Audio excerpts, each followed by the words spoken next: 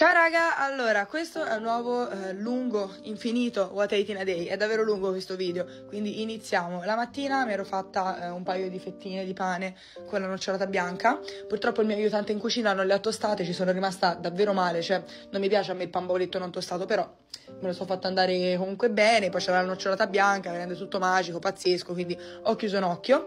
E per pranzo eravamo in macchina e stavamo andando verso lo store di Ikea con i miei genitori e con Ari, che si è preso sto cornetto alla crema me la crema proprio uh, zero. Io invece sono andata sul salato perché preferisco nettamente il salato e ho mangiato questa pizza rossa buona. Bella unta, era untissima, cioè non so se vedete anche la mia bocca, era letteralmente untissima, perfetto. E, e poi era bella bruciatina, mi ha fatto impazzire. Più tardi abbiamo fatto una cosa che raga io non ho mai fatto, cioè aperitivo da Ikea. Cioè non sapevo eh, esistesse l'aperitivo da Ikea, quindi abbiamo preso qualche spritz e poi c'erano questi taglieri. Io ovviamente da cosa ho iniziato da brava intollerante al lattosio, che poi voglio specificare perché ogni volta poi mi insultate e fate ma tu non sei davvero... Raga, sono intollerante ma nel senso che sto comunque bene, cioè mi si gonfia la pancia, però se non importa a me che mi si gonfia la pancia, capito?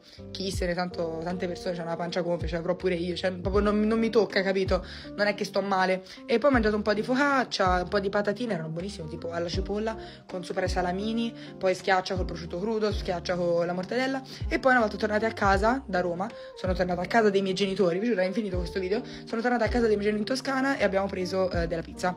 Ho preso questa che era con le cipolle e con cos'era? Tipo soglioline, non lo so. Io ho sempre voluto provare tipo la pizza con tipo le cipolle, il tonno. Non l'ho mai provata per rispetto delle altre persone, però a sto giro ero da sola quindi non avevo nessuno da far soffrire con, con la cipolla, ecco, buonissima. E poi ho preso quest'altra che era con i pomodorini, due erbettine, buona, avevo tantissima fame, non so cosa ho questi giorni, una fame travolgente e la pizza come sempre, naturalmente, mi ha soddisfatta.